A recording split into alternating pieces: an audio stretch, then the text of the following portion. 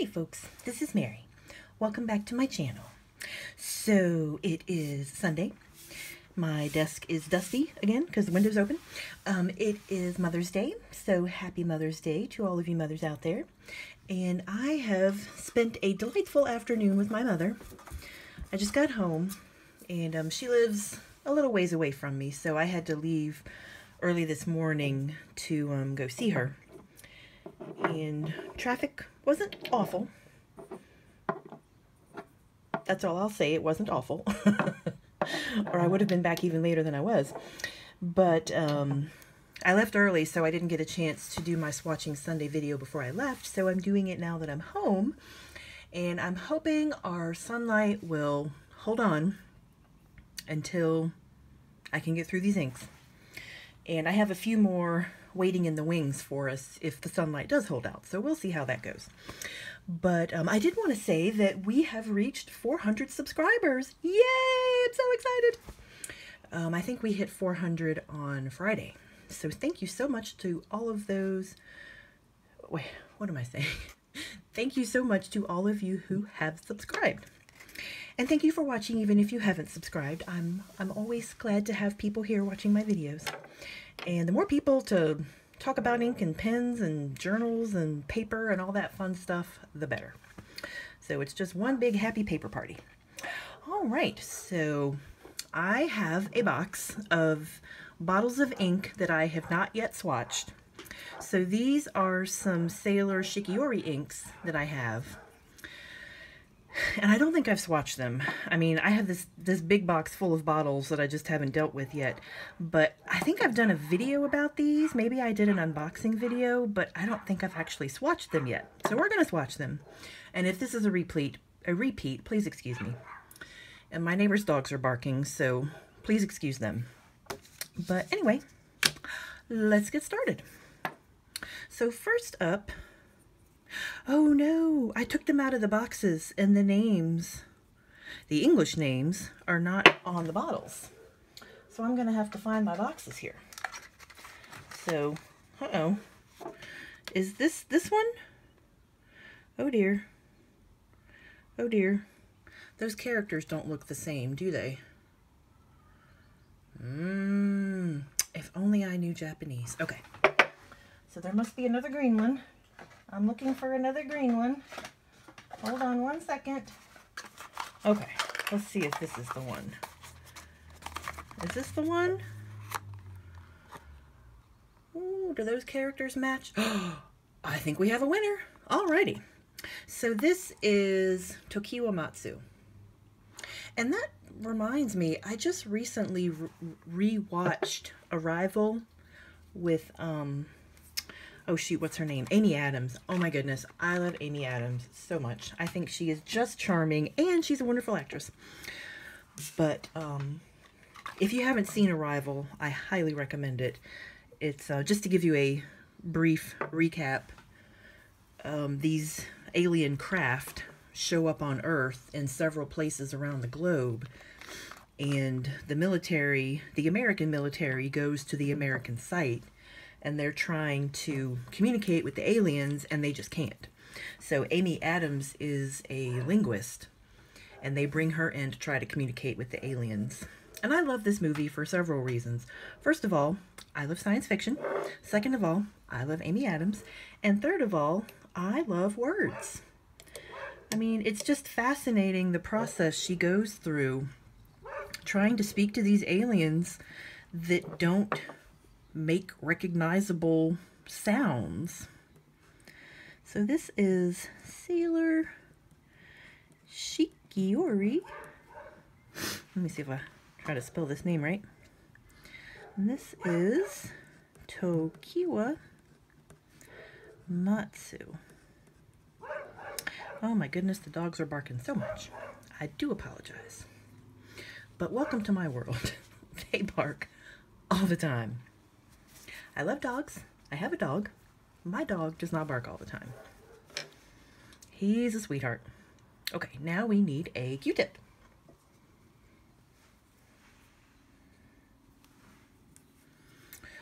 Alrighty.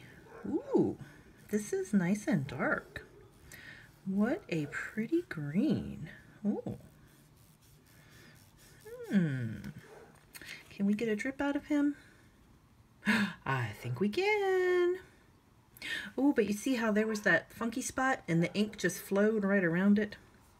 So that was from my fingers or something. Something got on there. But that is lovely. And look at the different stripes. It's like green and yellow stripes. That is crazy. Very cool. Well, I'll be interested to see what the other green looks like. In fact, why don't we do that one right now? And I don't know about you. I don't know how you feel about ink boxes. But, um, oh, please excuse me if that was loud. But I am a big believer in keeping my bottles in the box to keep them out of the sunlight. And also, heaven forbid, if they should get knocked over, hopefully the box will give them a little bit of cushioning. So I, I think ink bottles are beautiful. And I would I would love to have, you know, a big row of them in my little cabinet so I could look at all of them, but I, I would rather protect them from light. Okay, so we're comparing characters here. Make sure we've got the right ink. And I think we have a match here as well. So this is Miruai. That's my best guess, Miruai. And I remember trying to pronounce this one before, so I've definitely done a video about it. I just don't know if I have swatched it, but I don't think I have. I feel like I just used the same ink cards over and over again to do swatches. So that's why I'm trying to get all of my ink swatched. So I'll have more things to compare them to. You know, more ink cards to compare new inks to. But um, also, I don't put an ink bottle in my cabinet until it's been swatched. So I've got this big box of bottles that I may or may not have swatched yet. So I'm just trying to get them processed, so to speak, so I can get them out of the box. All right, so this is Sailor Shikiori, and this is very dark. And let's make sure we spell it correctly.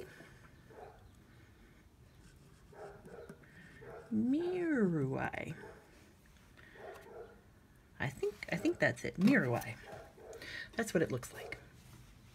Did I ever tell you about my experience in Japanese class? I probably have at some time.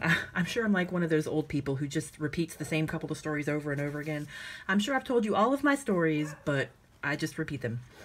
But anyway, I I was really interested to take Japanese in college. So I signed up for Japanese because you know you have to take a language in college. And our professor was from oh shoot. I'll never think of it. It was an exclusive women's college. Bryn Mawr. She was from Bryn Mawr. She had just moved to our little college Oh my goodness, this one is super dark. Wow. Ooh, very pretty. Much darker than the other green. Mm, but not much of a drip. Let's see if I can get him to drip a little bit. Oh, yep, there it goes. Mm, he's just running all over the place. Yeah, the drips are fun because that's where you see a lot of the sheen, which is fun to see. Even though it doesn't always show up in our writing, it's still fun to look at. So yes, my professor was from Bryn Mawr, and um, she was a little Japanese lady, and she was dead serious. She was not messing around teaching us Japanese.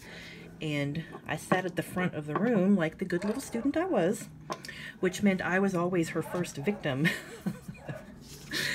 and, um, okay, let's see if we can find this one. Hmm.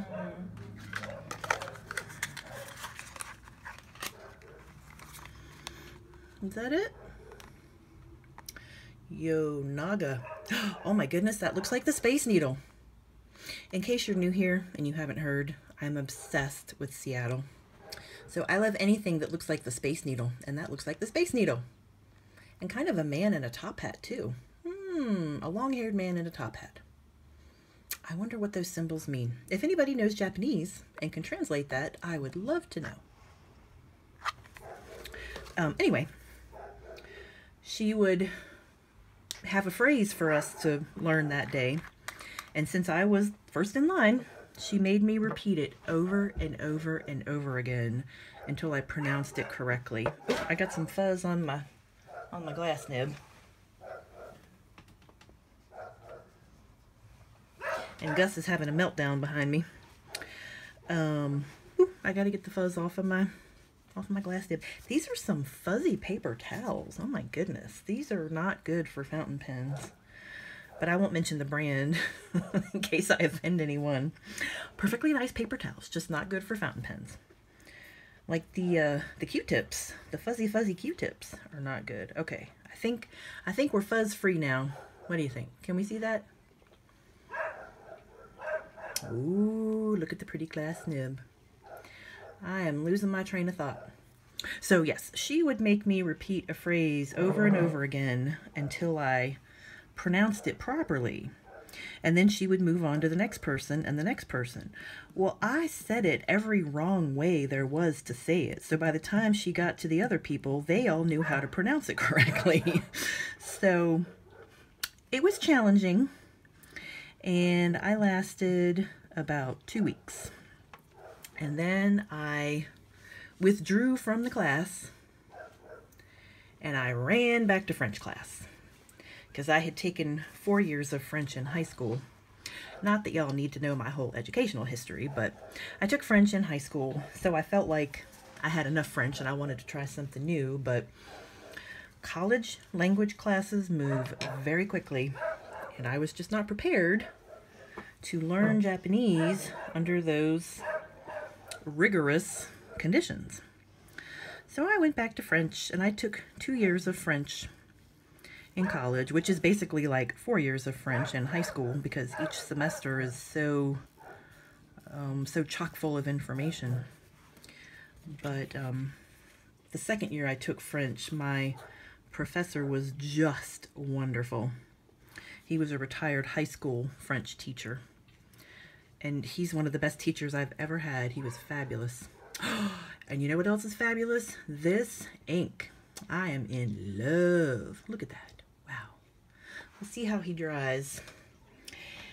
And I can see our light is fading, which makes me sad because I don't know if we're going to get through these six inks, let alone the other inks I had picked out. Ooh, and my knuckles turning all different colors. My goodness. That was the Yonaga. Here it looks green and purple, and on the card it looked blue. So you never know what's in your ink. Also, I hurt my hand. I don't know what I did. I am just complaining today. My goodness. I think I'm just getting old. But it's getting hard to grip stuff, which is not good. Thankfully, it's my left hand and not my right hand, because I write with my right hand, and if I couldn't hold a fountain pen, I don't think life would be worth living. Okay, so let's make sure this is right. Is that right? Are we going to focus? Come on, little camera. Here we go. It's the Space Needle again. Let me put this on this side. That's better. Shimoyo. Ooh, it looks like a, a jellyfish is visiting the Space Needle. A jellyfish with an umbrella or something. I don't know. I'm being silly. Please excuse me. I hope I'm not offending anyone. But yeah, I was not in Japanese class long enough to learn any Japanese characters. I can introduce myself in Japanese, and that's about it. All right. Wow. This is looking very much like Yonaga. So this is Sailor Shikiori. Make sure we're spelling it correctly. Shimoyo. That is a Y. I'm just making it worse. It's very pretty. It's very dark. It's very dark blue. Very much like Yonaga. I'm telling you people, Sailor is just rebottling the same inks And suckers like me are falling for it. I was looking at something. Shoot. I think it was Grenade or Grenade. And there was another ink that looked so much like it, it was uncanny. But it was another Sailor ink. So I don't know what was going on there.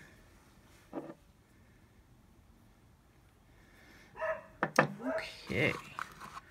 Ooh, come on, sunlight. Don't abandon us now. Ooh, my. Well, it'll be fun to look at these after they've dried and see how similar my two blues are and my two greens are. I know I got these on sale somewhere because that's what I do. I find stuff on sale and then I buy three times as much as I would have normally. Okay, so we're going to let him dry. It's always interesting to see how they dry. There's all these things going on around the edge here. Very interesting. Ooh, and kind of smelly. Like shoe polish or something. Hmm, interesting. I've always wanted to do a video on the different smells of ink, but how would I even get that across to you? I don't know. But, you know, inks do smell in very interesting ways. Some smell amazingly good and some smell amazingly bad. Okay, we're down to our last two boxes. So who do we have left here? Okay. Let's see. Are these guys matching up? Ooh, are we focusing? We gotta focus. Focus, people, focus. Oh my goodness, look, it's the Space Needle again. Ooh, it's the Space Needle and a long-haired guy headbanging, which is appropriate for Seattle because, you know, grunge. Okay, everybody out there who like grunge, say whoop whoop. Okay. So this is Yozakura. Yozakura. Which sounds like Yo Sakura. So I wonder if this is something to do with cherry blossoms. Ooh, oh, I can just feel the sunlight draining from the world. I'm trying to write faster. I can't talk any faster though. I mean, I can talk faster, I just can't talk less. that is just impossible. Okay, Sailor. Shikiori. Hmm, I don't know if, if I didn't dip enough or if it's just a, a very shady ink. Yo the Kura. Yo Zakura. Hmm. It's writing kind of strangely. Or perhaps that's my lack of sunlight. I don't know. Okay. Swatching, swatching, swatching quickly.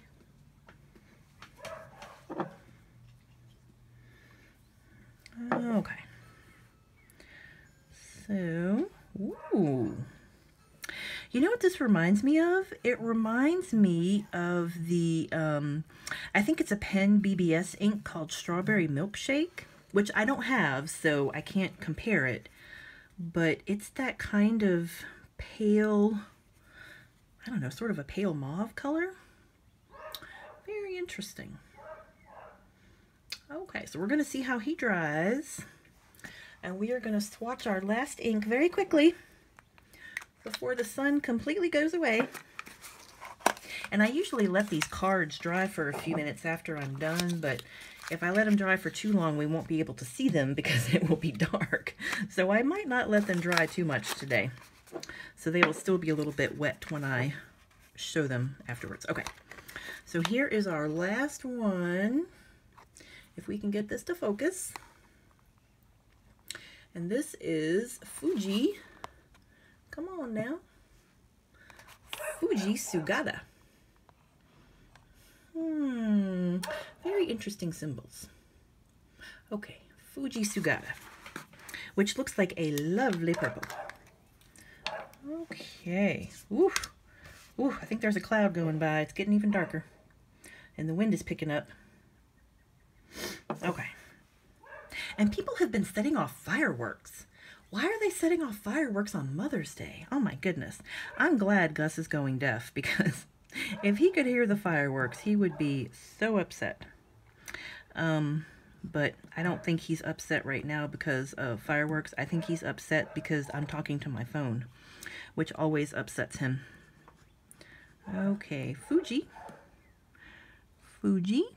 Is that Fuji like Mount Fuji? Sugata. Hmm. So, I don't know. I need to look up these names to see what they mean. I mean, is this supposed to be like the color of Mount Fuji? I, I remember seeing paintings of Mount Fuji, and it does look kind of purplish in the background. I don't know. Okay. And both of these last two seem to be very kind of kind of watery kind of like the Manyo inks or like the um, Troublemaker inks. That kind of thin watery looking ink that seems to be really popular these days. And I I do see some some different colors going on in there. I see some pink and some purple and that's just on the swatch I don't know about the writing Okay, so I'm going to set this down and I'm going to give them about five seconds to dry. And I'm not even going to turn the camera off because if I turn the camera off, the sun is going to go away completely. So I'm just going to put this bottle away and we're going to start at the beginning and see how things are looking. And they have had, they've all had a few minutes to dry except the very last one. So just get these boxes out of the way. Okay. So here is Tokiwa Matsu. Is it focusing? It's looking a little out of focus. But there is quite a bit of reddish, kind of reddishy orange sheen on this. Hmm, that's very interesting. So where the sheen is, or when it sheens, it makes it look like a much lighter green. See, here's, here's no sheen. It's looking much darker. And then when the light shines on it and you see the sheen, it looks like a much more yellowish green. So that's very interesting. And I do see some shading in the writing. Of course, writing with a glass nib is not the best way to to tell about, um, you know, writing with the ink because it lays the ink down so thickly. Okay. Here is Miruai, which is kind of a dark, it's like a dark blue-black. It looks like it almost has some green to it. So I guess we would call this a teal. This is a dark teal. And it does have some reddish sheen on it. Very pretty. Hmm. Mm -hmm.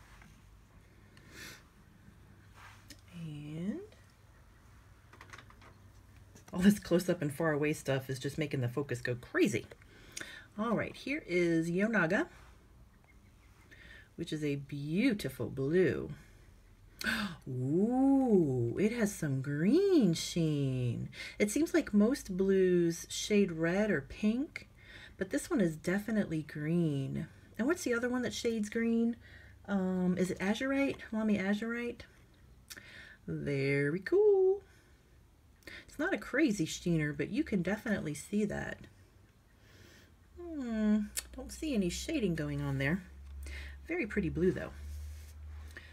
Okay. And here is Shimoyo. That looks like a G, but it's a Y. That's going to confuse me in months to come. So this is also kind of a dark blue-black, but this one is definitely blue-blue and not tealish blue. And it does have some red sheen. Hmm, maybe this evening sunlight is good for showing sheen. I don't know. It seems like when the, um, sorry, that was Gus. It seems like when the sun is higher in the sky, I can't always show the sheen very well. Hmm. Mm-hmm. Don't see any shading. Let me fit these guys in here. Let's see. Two more to go. So here is the Yozakura, which is that interesting pink. And it really made the card buckle. Wow. That's interesting. It looks like it's doing some interesting things to the paper here. It really soaked in. So I don't see any sheen on it, but I'm guessing this would be a good shader. And you can see in the writing that that would be a nice shader. So a very, a very subtle pink.